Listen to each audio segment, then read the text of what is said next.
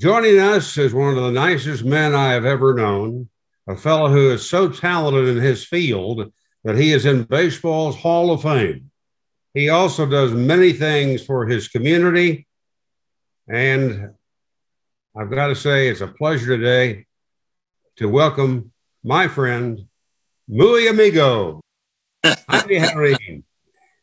Hi, Ross. It's so nice to hear you and to see you, and thank you very much for having me on. It's a pleasure to see you. You know, we go back to many, many years ago when I met you, where I used I, I used to follow you when you were with Channel 4 KNBC in Los Angeles. Then you joined the Dodgers. Then I had the pleasure of spending more time with you. Great memories, really great memories. Yeah, I agree with you. Jaime, let's review your fascinating life from the start. Uh, you were born in Ecuador. In college, there, you studied uh, philosophy, letters, journalism, and broadcasting. How old were you when you went on the radio for the first time? I was 15 years old, 1951, when I got uh, uh, my first job doing news and special events at HCJB, the Voice of the Andes. It's a very, very special, very unique radio station owned by, by the Protestant churches of the United States. And they are in Ecuador because of the geographic situation, so they can cover the whole world. You know, in, 19, in the 50s, when I was there, we were 80 radio announcers there uh, announcers from Russia, from France, from Germany, 22 different languages we used to broadcast. I was in the Latino division of the station, and uh, and uh, they are in Ecuador. Uh, so uh, let me tell you, uh, here you know we say KFI 50,000 watts, a great signal, 50,000 watts, clear channel. HCJB has a transmitter of 750,000 watts. They, they broadcast on that on that on that frequency in Russia and in uh, in Chinese. Uh, they are in Ecuador to cover the whole world because Ecuador is in the middle of the world. So the contract with the government is that they have to uh, give 60% of their programming only classical music, semi-classical music, and Ecuadorian folkloric music, no commercials at all, and news and events. Uh, I used to be, I end up uh, being the number one announcer at the radio station when I was 17 years old, because I had the, the morning show, the news from 5 o'clock in the morning until 10 o'clock without stopping. News, news, more news, no commercials at all. That was a great experience for me and I brought that experience here to the United States when I came to this country in 1955. Now, is that the same station where you were the announcer for the uh, National Congress of Ecuador? Yes, for three years I was the official announcer of the Senate of the National Congress of Ecuador on HCJB, but I was an employee of, of the Congress. What did you do with them? I used to open the sessions uh, and then I will go over the, the agenda of the, of the uh, things that were going to be discussed. Then I will introduce every senator, senator that was going to speak. And then, of course, I will give a recap of, of the, of the uh, laws that we're trying to, to approve. They must have really thought you were talented because you were still just young, weren't you? I was 17 years old. Uh, at the beginning, you know, the porters at the doors that didn't allow me to get in. They thought that I was somebody that was that was wanting to be in there. But then I, I, I had my ID and everything. They allowed me there. But I was I was 17 years old, very young, very young. When did you start thinking about coming to the United States? I would say probably the last two years before I came here because I had many friends that were Americans living in Quito, uh, because the station used to broadcast in, in, in, English, and the radio station was uh, uh, um, they had the best grammar school in Quito. Later on, they had the best uh, uh, secondary school in Quito. Also, they had the first private hospital in Quito, the Hospital Vozandes. So all the technicians were Americans. So we had about 3,000 Americans living uh, around the radio station. So I met many people there. Then I was the announcer of the number one program on Sunday nights at eight o'clock at night. I was the announcer of the program. It was with with uh, with uh, live programming. So many people, probably between 40 and 50 people, used to come to the auditorium to see the, the show and to hear the, the, the program. And among them was very, very, very, um, uh, very often the American consul of uh, American consul in Quito was there. So I, I became a friend of his. And um, one day, half serious, half kidding, I told him, you know, I would like to go to the United States. He thought that I wanted to come as a tourist. He said, no problem. How long do you want the visa? Three months, six months, one year? I said, no, no, no. I want to go there as immigrant. I want to take my family. I was recently married. Uh, said I need a visa for my for Blanca, and later on for my son Jorge. So uh, he said, come and see me in the office on Tuesday. So I went to see him. And in less than 24 hours, I had a visa for Blanca and myself to come to this country in June 1955. I arrived here into the United States on June 24, 1955, the same day that Sandy Koufax pitched for the first time in the major leagues. Wow. You were 19 when you left Ecuador. Where did you go? Miami? No, no, no. I came directly to Los Angeles. I was thinking of going to New York because also I was I was thinking of getting commercial pilot license. I wanted to. I like to be a pilot, so I was going to go to the Teterboro School of Aeronautics in New Jersey. So I was going to go and live in New York. But then I changed my mind. I started reading about the United States and I saw the demographics of Southern California. I saw that there were so many, so many uh, Latinos here in Southern California. I said to myself, that's the place I have to go. So that's why I decided to come to Los Angeles. I came uh, in a big ship and we, we, we reached land in Tampa. And in Tampa, I took a Greyhound for five days to Los Angeles. Yeah. When you arrived in Los Angeles, what did you do at first? Well, I went out looking for a job.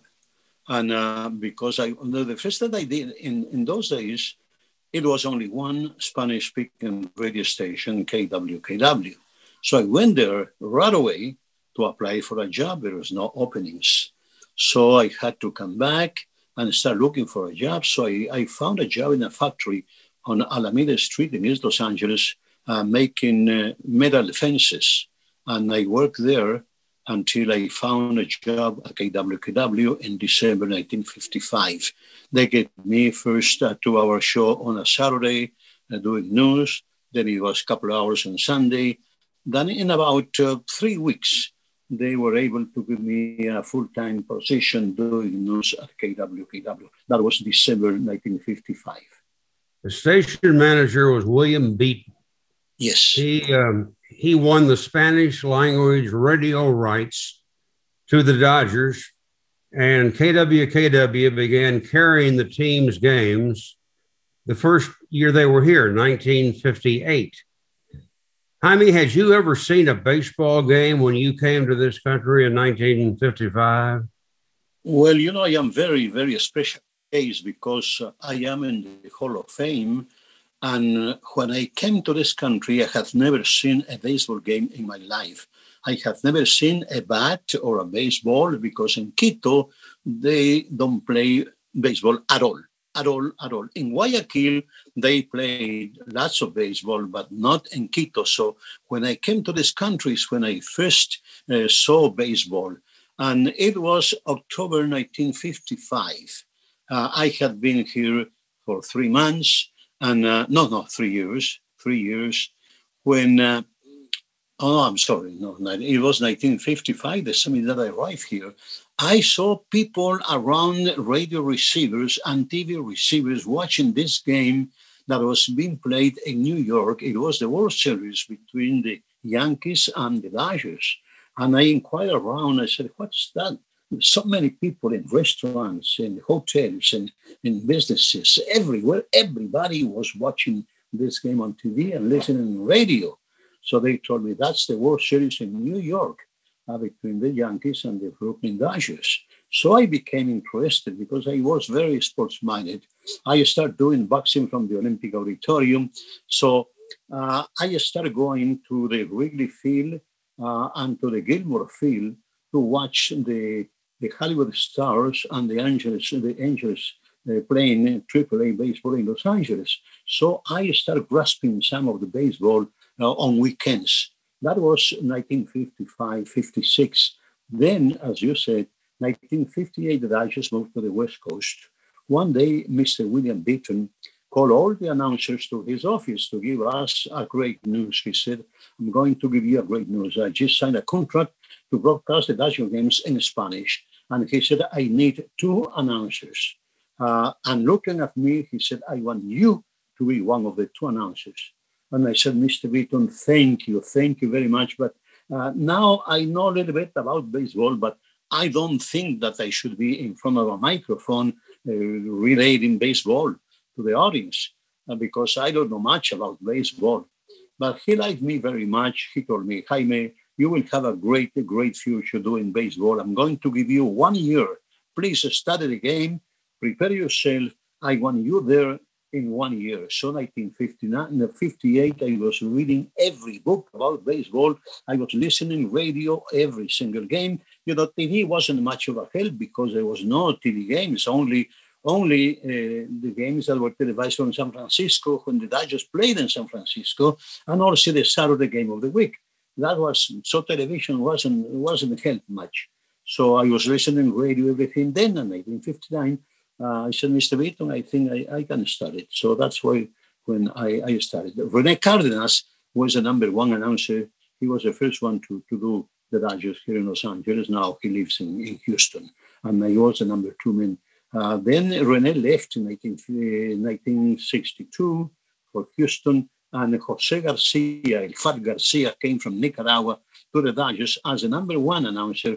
Uh, Rene recommended him so I was still the number two until uh, uh, Jose Garcia passed away in December 1972, and I became uh, the number one in the board 1973.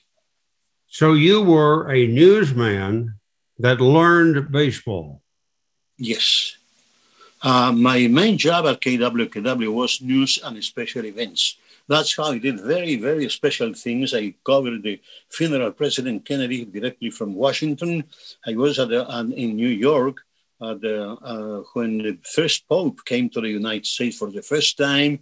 Uh, I have covered conferences between presidents of the United States and Mexico, uh, Diaz Ordaz from Mexico, with uh, Lyndon Johnson, and later on the meetings between uh, Nixon and, and and uh, Diaz Ordaz of Mexico. I covered two uh, meetings, one in, in Coronado, California, and the other one in Puerto Vallarta, Mexico. So uh, at the beginning, uh, baseball was like a part time to me. News and special events was my number one job. How long was it before you became the news director and the sports director at KWKW? Well, uh, I started there in 1955. By 1958, I was named the news and sports director of KWKW, 1958. The first six years, you didn't travel with the team to air the games. You would do what they called recreation. And for anybody who doesn't know what that was, uh, you would be in a studio at the radio station, uh, listen to Vin Scully and Jerry Doggett on the Dodgers English speaking network and describe what was going on at the ballpark. Uh, you're bilingual. Was that still difficult for you at first? It was extremely difficult because my English was very limited, still is. But, uh, but uh, you know, the, only one game a week was televised. Mm. So we couldn't we couldn't watch TV and, and do the game like like they do now uh, in recreations. Before me, they used to recreate in English, but they used to be one inning or half an inning behind. They will take the game from the teletype or the or the ticker uh, system and they re- recreate. But in our case, we were simultaneously on.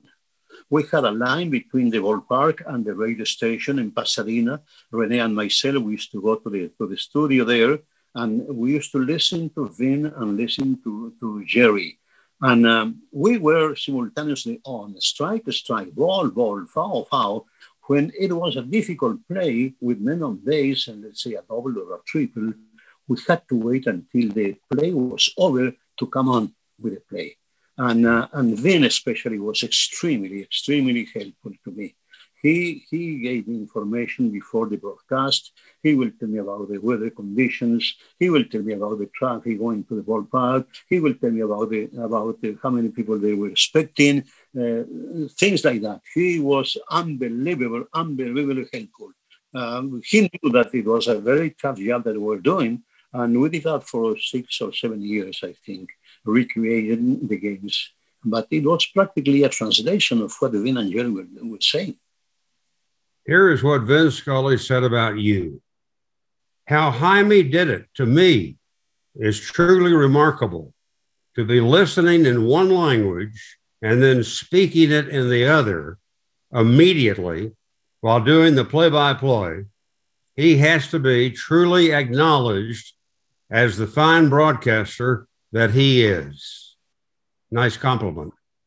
Coming from Vin, those words means a lot to me. He has been a great, uh, great teacher to me. He has been my teacher. He has been my my friend. He has been my idol. Uh, I don't have idols in the baseball world except Vin. Uh, Vin been everything to me.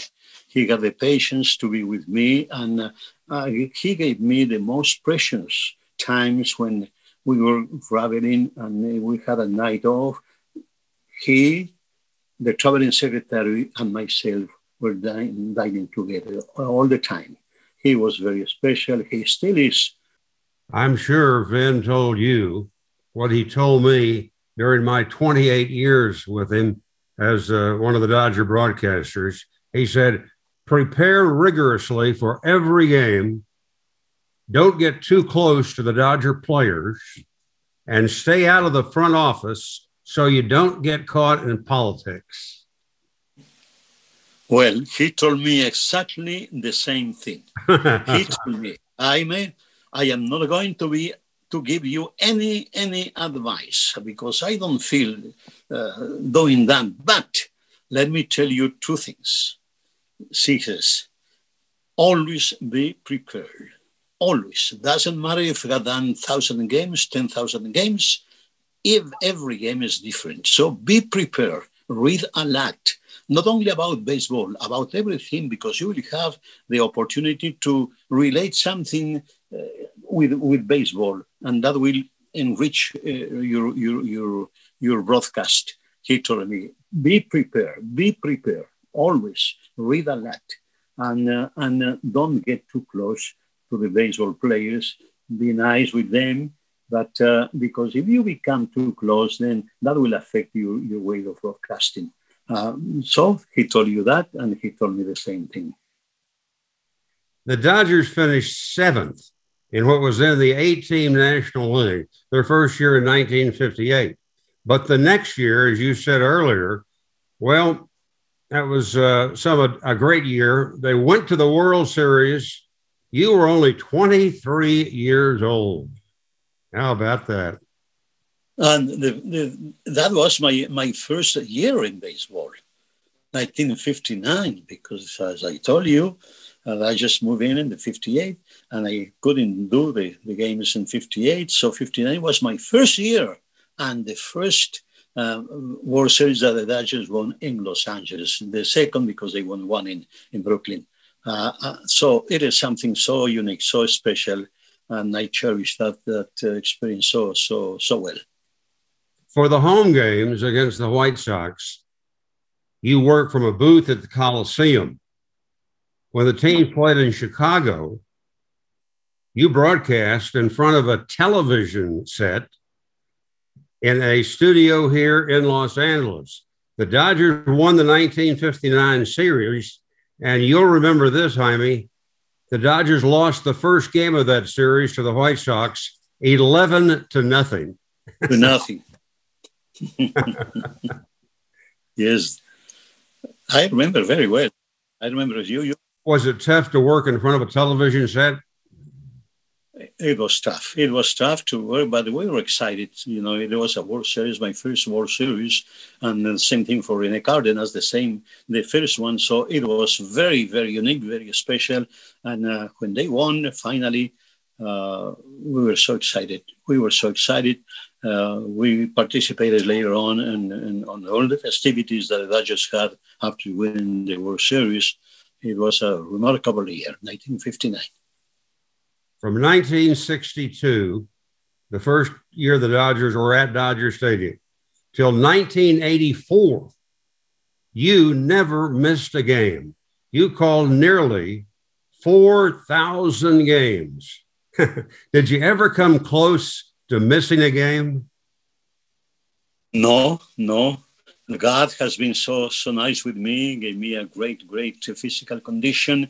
My throat never bothers me. So uh, probably I had a couple of instances when I had a little cold, but uh, not that bad to, to miss a game. So, uh, and I, I stopped the streak because of the Olympics, 1984 Olympics. Uh, Peter O'Malley asked me to leave the Dodgers because Peter was very hard. He was working very hard in order to get the baseball as a medal sport in the Olympics. So he asked me to leave the Dodgers for three weeks and work for the Olympic Committee. So I was in, in charge of the, uh, all the radio production of the Olympics in 1984, and, and I stopped my 4,000 games. Uh, I think it's 4,013 games streak. The Brent Shyer is the one that that uh, that uh, investigated that and, and and was able to establish that that number because I never paid attention to that. So, but it was something very very special to me. The 1980 and 1981 seasons were very special for you. Fernando Valenzuela became an overnight hero, and you served as the interpreter. Tell us about those experiences. Yes, uh, when Fernando joined the Dodgers, we were in uh, Houston uh, he came from San Antonio, where he had really a streak of great and good number of innings without allowing any runs. So he joined the Dodgers in, in, in Houston in September. Uh, we were on the road. He, he didn't pitch in, in, in Houston. Then we moved to Cincinnati. He didn't pitch in Cincinnati. Then we went to Atlanta and he came into a game. And the first batter that he faced was uh, Bruce Benedict, the catcher from the Atlanta Braves, and kicked a fly ball to center field. That was the, the start of, of Fernando Mania. To me, Fernando Mania started not, not, not I think in 81, but in 1980, when uh, Fernando came to pitch as a reliever in the last series of the, of the season against the Houston Astros. The Dodgers had to win three games in order to finish first in first place, uh, uh, tied with the, with the Astros. So, um, and he won the first game. He, uh, Jerry Reuss won the second game, and Rene, I mean uh, Fernando came in the sixth inning to relieve in the third inning, and um, and uh, uh Steve Howe uh, came in the ninth inning. No, in the tenth inning because he went ten innings, and the Dodgers won. So they they need an, an extra game. Many people thought that Lasorda should use Fernando as a starter, but I don't think so. I think it was asking too much to to ask this young kid first year in the major leagues, uh, rookie, uh, very green, to start such an important game. So uh, Goltz started the game, but by the third inning, the Astros were winning seven to, to one. Um, uh, Burt Hooton allowed, uh, he was a starting pitcher, allowed four runs. Then um, Sutcliffe came and relieved in the third inning, and he allowed uh, three runs. So it was seven to one ahead for of uh, Houston. when Fernando came into to pitch into the game in the, in the, in the seventh inning. But that's when people realized how special Fernando was. Then we have 1981 season. Fernando got the assignment to start the game, and he won the first eight games, five of them uh, as a shutout. Uh, when Fernando came to the Dodgers in 1981, as a, as a started, uh, they need uh, somebody to translate for him. At the beginning, they, they asked Manny Mota, who's a first base coach, to help translating for Fernando, and also Pepe Frias, who was the second baseman, who became very close to Fernando, probably the closest friend that Fernando had the first two years in the Dodgers organization. So, but then Fred Claire, who was the head of publicity, he thought that it was not not really good to, to use players or coaches helping Fernando. So he came to me and said, Jaime, as you work for the Dodgers, you are with the Dodgers everywhere, you travel with the team, could you help Fernando translating for him? And I said, fine, that will be fine. So that's how I started to helping Fernando. Did Fernando know more English than he let on? Later on, yeah. Now he speaks very, very good English. But the, but the first two years, really, he couldn't speak any word. He couldn't understand any, any, any English at all. He needed help. He needed help, no question about it. But he was always on top of everything. Even though he didn't uh, understand English, he didn't speak English, he knew exactly what was going on around him. And we went to, to cities where we had press conferences that were very difficult for Fernando, New York especially, where, where when, we, when we went to New York for the first time, there were about 100 newspaper men waiting for us uh, at the airport and going to the Shea Stadium. And, uh, and, and uh, but, but Fernando was very sharp, very intelligent. The only advice that I gave to him said, Fernando, you don't have to answer every question that they ask you. If you don't like any question for any reason, just be polite and say, I'm sorry. I don't care answering that question. Next one, please. That's the only advice that I gave him. And he did very, very well. He never refused a question. He, he never lost his uh, composure. Uh, he, he was really, really fantastic. Fantastic. Well, in 1981, that first full season for him, he had eight shutouts. That's remarkable. Yes. Well, uh, at the beginning, he got five shutouts at the beginning of the season. Eight wins, five shutouts at the beginning of the season. Wow. I mean, you have to be proud of the growth of Hispanic Dodger fans and the role that you have played in helping that. Tell us what percent of the Dodger fan base was Latino when you started in 1959, and what is it today? Well, I understand that when we used to do the games at the Coliseum, the Latinos attending the Coliseum was about 8 to 10% at the most. Days in Dodger Stadium, they say it's about 42 to 46%. That means that we have really cultivated the Latino market in Southern California. Three reasons why I have lasted this long doing baseball long. Uh, my longevity is because first, I love what I do. I am in love with baseball. Nothing better for me to, to be doing baseball. I love the game. Number two, the support that I got from my family particularly from Blanca. She never complained about my, my absenteeism. She never complained about me being away from home so much. And my kids, you know, Jorge, Mauricio, and Jimmy, uh, they were growing up, and uh, many times I wasn't with them. So Blanca is the one that took them to a, to a park, to a, to uh, horse riding and things like that. It was Blanca, and, and and she never never complained about my job. She was very proud of what I was uh, uh, getting, and and she was always one step or half step behind me.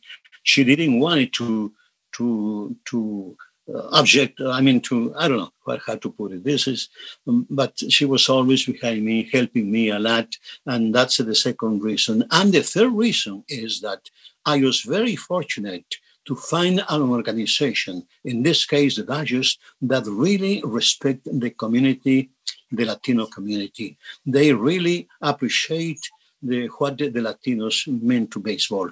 There is no question that the segment of population in the entire country that really follows uh, uh, baseball is the Latinos.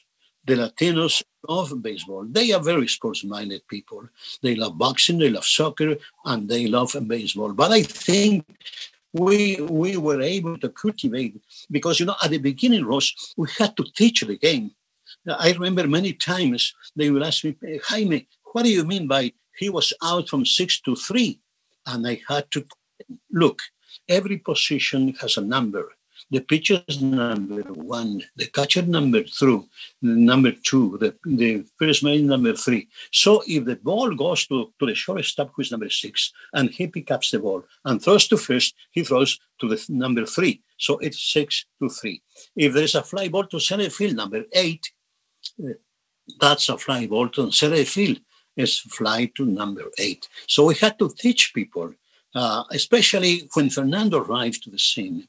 Many women, especially ladies, they were uh, behind Fernando. They used to they used to pray the rosary the days that Fernando was preaching. It was unbelievable.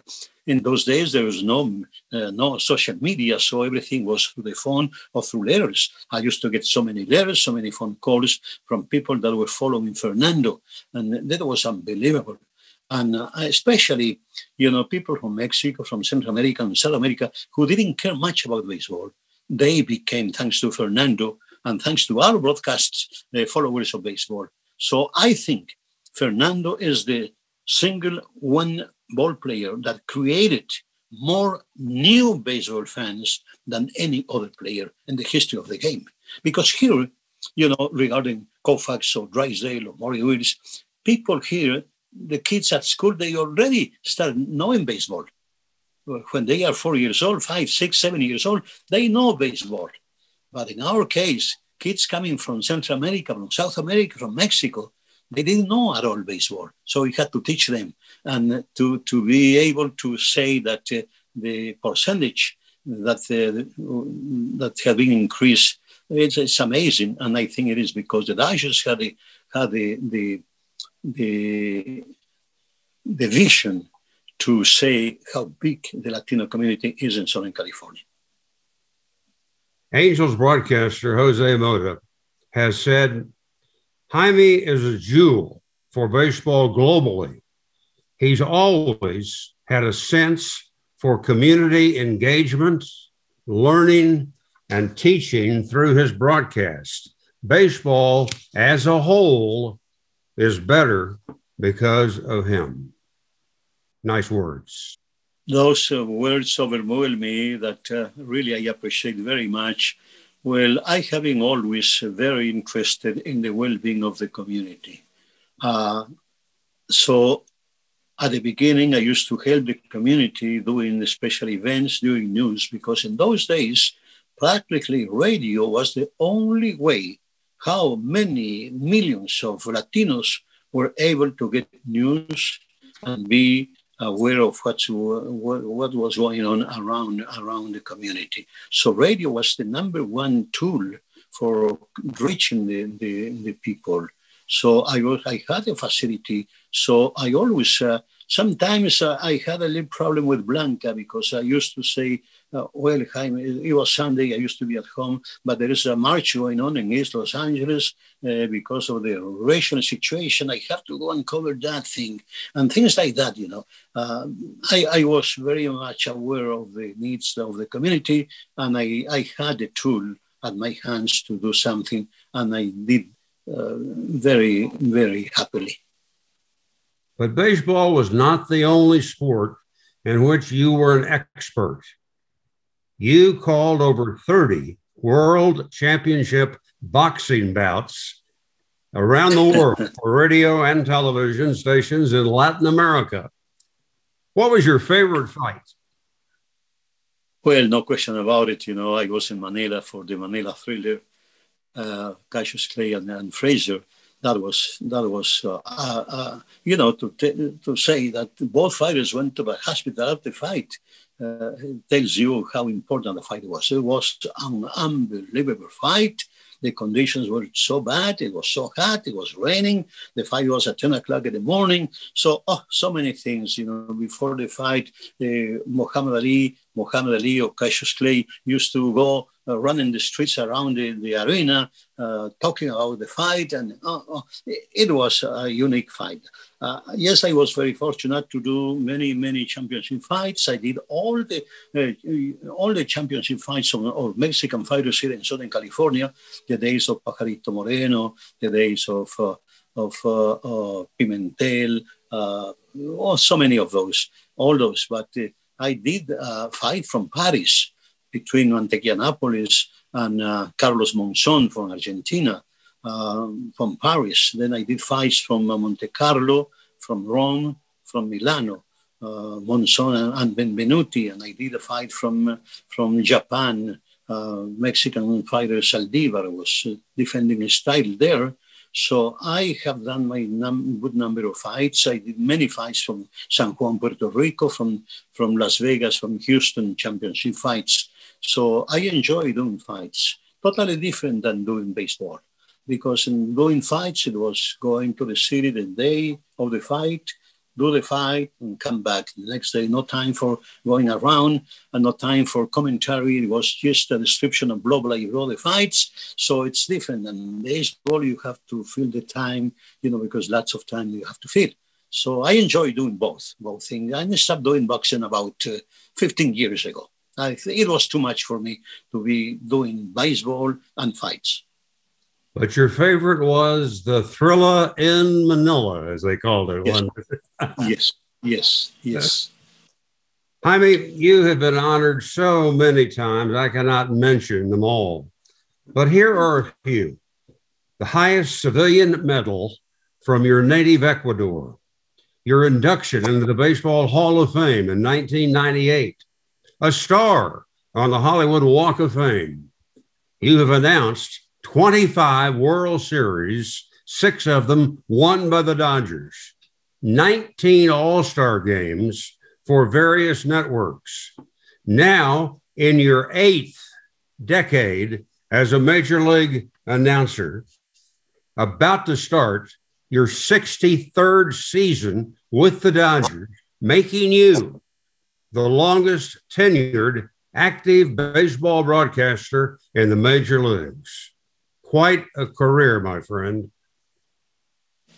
Yes, it has been a great ride for a young kid who was uh, 19 years old, who came from a from a very small country in South America without knowing much of English, without knowing nothing about baseball. Yes, I have been I have been uh, blessed I have to add to what you said. You know, now I am in, I think about, about six Hall of Famers now. Uh, uh, I have in, uh, Cooperstown, then there's the Latino Hall of Fame, there is the, the Caribbean Series Hall of Fame, there is the Latino Museum Hall of Fame in San Francisco, six museums in total. In total, some of my my uh, remembrances have been in Washington at the Smithsonian Institute in Washington. So God has been so generous with me, and the community, the community has been so wonderful with me because you know, doing radio and doing TV, if you don't have the numbers, you are not going to last uh, the time that I have lasted.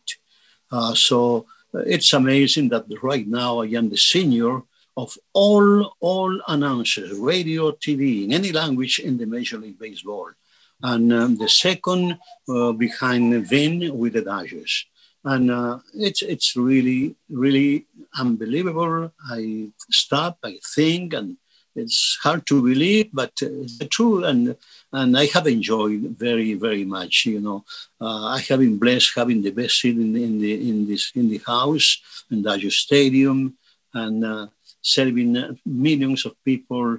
Uh, I have done now uh, 29 World Series counting the last three with the Dodgers. And I have done, I don't know exactly how many no hitters, probably 20, 23 or 24 or something like that. So uh, really, it's, it has been amazing. It has been amazing. And uh, I am humbly very excited to recognize those numbers. Jaime, do you think there's any announcer in the world who is still on the air as long as you've been on? The only thing I can tell you is that uh, the dancers that they started with me are gone. No, not, not a single one alive in Ecuador.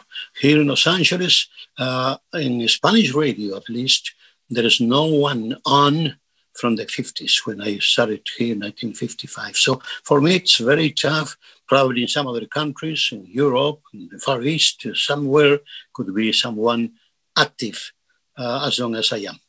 You've been on 70 years. 70, yes, 7 oh, 70 since 1951.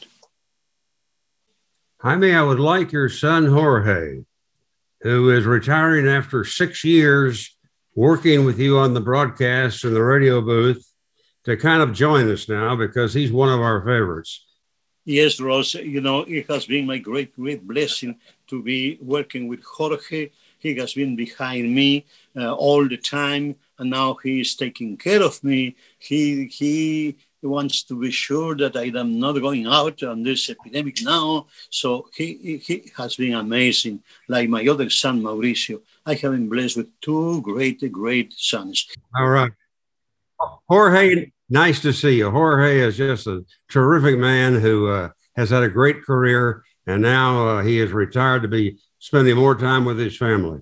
I know that one thing that is very dear to both of your hearts is the Jaime and Blanca Jarrin Foundation.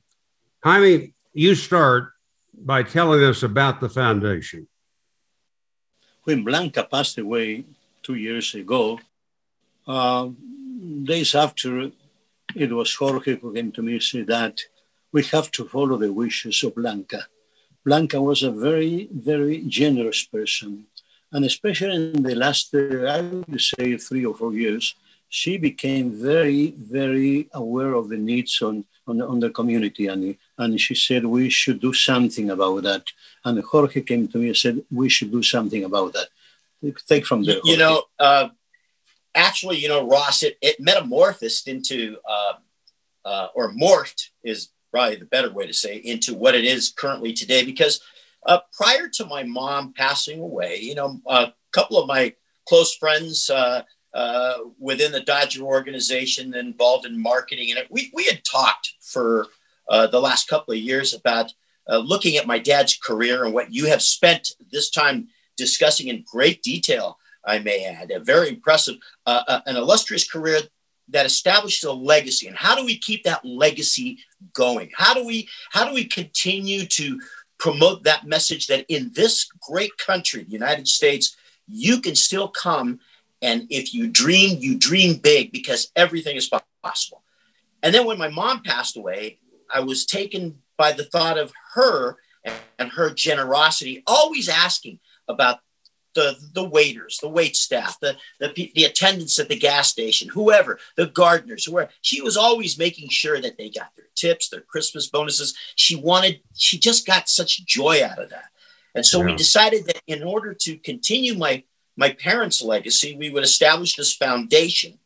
And of course, the COVID uh, virus struck us shortly thereafter. We were able to have one inaugural event uh, two years ago, a golf tournament. And then we've had to kind of uh, do our best to just hang in there and survive right now with this situation because you can't really do a lot of fundraising. But in the meantime, we wanted to stay active. So I'm happy that uh, with our great sponsors, Los Defensores, we partnered up with the LA Regional Food Bank.